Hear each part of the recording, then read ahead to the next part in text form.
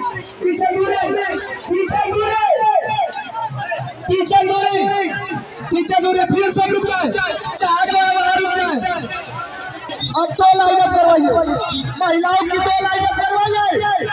सभी वॉलेंटियर दो line up करवाइए महिलाओं की। सभी वॉलेंटियर से निवेदन है, महिलाओं की दो लाइन अप करवाइए।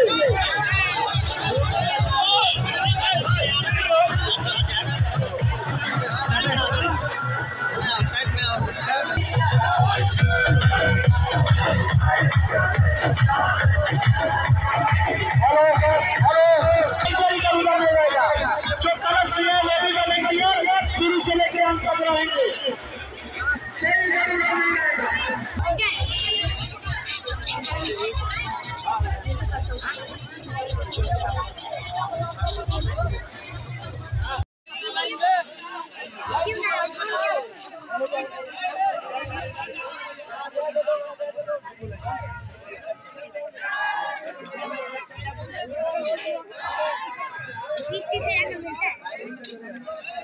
और पापा